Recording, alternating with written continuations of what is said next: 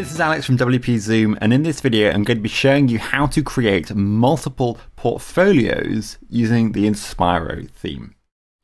You're going to need to make sure you've got the latest version of Inspiro, and you can download that from wpzoom.com. Um, or you can do um, an automatic upgrade once you've entered your license key on the WordPress dashboard. I'm going to assume you've got a bit of content, um, and in my case, I've got um, some photo and some video content. You can see um, I've got one of the regular templates set up um, on the site already. So um, this is going to let me create multiple different portfolios for perhaps different types of work. In my case, it's going to be photo and video. First, I want to show you how I've set up my portfolio. So under the portfolio section, I've got all of this content. Um, and if I then click on portfolios, um, just click on that, you're going to see I've got this organized. Um, if I just delete this nature one, you're going to see I've got it organized into uh, photography and videos, and I've got subcategories um, as the portfolios within those uh, two main categories. So when I'm creating a um, new portfolio category, um, it's just a case of um, entering the name, um, a slug if if required. If I wanted that to be different, um, that could be videos, engagement, whatever. Um, and then you just want to select the parent category. So um, in both instances, I've created a blank category, photo and video. Um, and now if I want to add engagement video to the video category, it's just a case of doing that, and you can see that's added in there. I can also edit any existing categories. If I just click on there, you see I can access um, the parent category setting. So if I then go back, you'll see that's moved to engagement video. I'm just going to get rid of that so it doesn't clutter up our site. So I'm now ready to um, create my multiple portfolios, one for photos, one for video.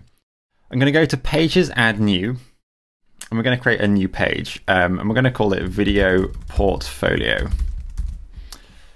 This is the new WordPress editor, um, and in order to access these settings, we're going to need to click this gear icon. We then want to open the page attributes and select um, one of these portfolio um, page templates.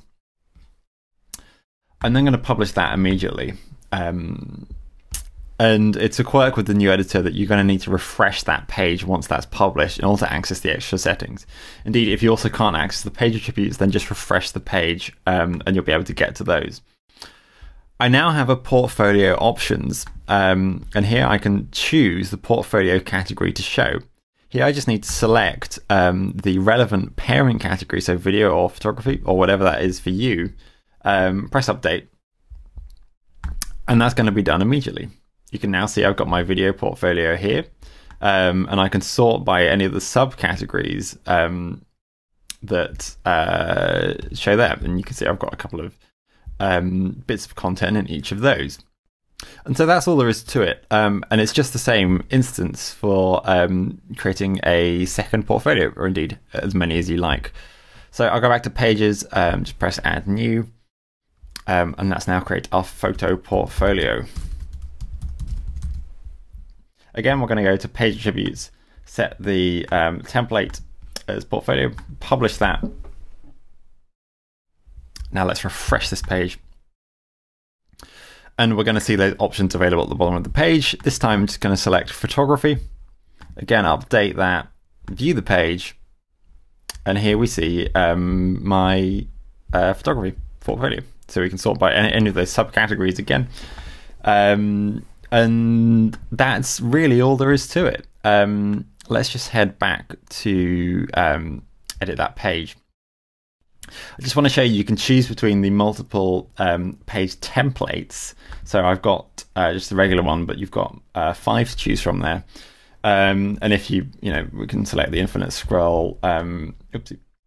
Let's just update that, have a look, and you'll see that just adds that with um, out needing to leave that page. That's a very nice way of doing it. You could choose between all of those, um, and then you might want to add these across your top menu, for example. So we'd head back to the WordPress dashboard, go to Appearance menus, and then you'd be able to um, add in your photo and video portfolio, um, perhaps to this top menu. So um, I've actually set this as the footer menu, um, but let's just change that around. Um, you can obviously call your menu whatever you like. And then we're going to see I've got my photo portfolio my video portfolio across the top of the page. Um, and that's a really nice complement to the Inspiro theme.